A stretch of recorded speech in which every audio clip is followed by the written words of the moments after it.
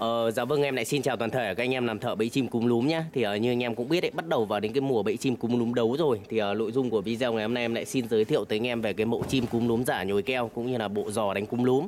Thì uh, đi chi tiết về từng cái sản phẩm để cho anh em cùng làm bắt được này. Thì uh, về cái con cúm lúm ở bên cơ sở nhà em thì uh, được nhồi keo ở bên trong. Đây anh em này. Đấy hàng này thì cực kỳ là đẹp luôn.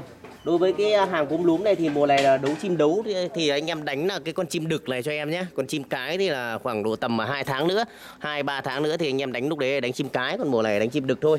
Còn à, về cái con à, cúm lúm này để nhồi được keo vào bên trong thì phải tách bỏ cái phần thịt thừa ở bên trong này ra này. Đấy nhồi keo từ cái phần cổ này xuống này. Đấy thì bây giờ anh em có thể thấy là đây là đang là một con cúm lúm đực đang đấu trực tiếp như thế này nhé, hàng khá là đẹp. Đấy màu đỏ này, mỏ vàng. Đối với con cúm lúm này thì uh, giá thành của nó thì hiện tại giá thành thương phẩm nó rất là cao. Đâm ra là cái, cái, hàng nhồi keo này thì giá cả của nó sẽ cao hơn một chút so với là cái hàng thương phẩm. Còn uh, về cái hàng này thì đã được ghim chân từ phần trên đây xuống là dây thép hết rồi này. Đấy dây thép để nó tạo thế đứng ra như thế này. Cũng như là độ bền của nó về cái phần chân này giữ nguyên vẹn cho anh em.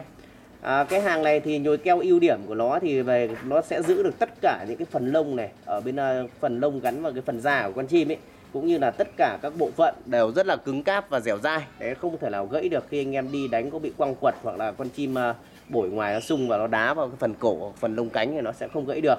Còn hàng này thì uh, uh, mùa này thì đánh rất là ok rồi anh em ạ. Đấy khu vực anh em ở trong miền Nam miền Trung ấy, đồng rộng cũng như là anh em ở phía à, miền Bắc à, những cái khuấn ví dụ như anh em ở dưới Bắc Linh ấy, Bắc Linh hoặc là anh em Thanh Hóa đánh rất là nhiều.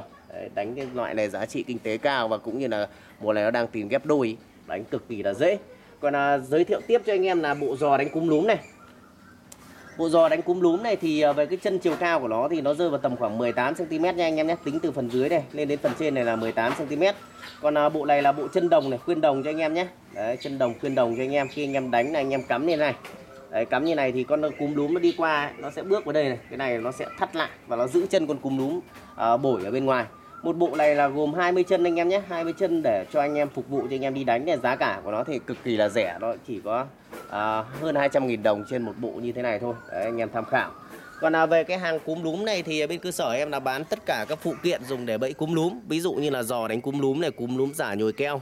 Thì à, có cúm lúm đực cúm lúm à, mái à, hoặc là loa điều khiển từ xa để gọi cúm lúm đến.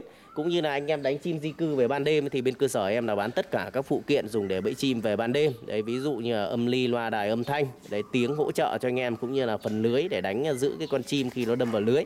Đấy một video ngắn thì xin giới thiệu tới anh em về cái con cúm núm giả nhồi keo cũng như là về cái bộ giò đánh cúm núm đến đây là kết thúc. Anh em nào đặt hàng thì ờ, anh em liên hệ trực tiếp vào cái số điện thoại em để ở dưới tiêu đề. Anh em điện đến thì bên cơ sở em là sẽ có anh em nhân viên tư vấn kỹ lưỡng cho anh em. Còn bây giờ thì em xin chào nhé. Hẹn gặp lại anh em ở những cái video lần sau.